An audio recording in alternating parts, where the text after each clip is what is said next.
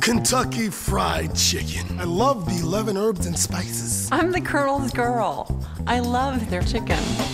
Grilled chicken. Mm. I need this recipe. Kentucky Grilled Chicken. You've got to taste new Kentucky Grilled Chicken. It's marinated and grilled to perfection for that five star fall off the bone taste you just gotta come in and try. Now try new Kentucky Grilled Chicken in a two piece meal for just $3.99. My compliments to the chef. Tasty on fried side of KFC.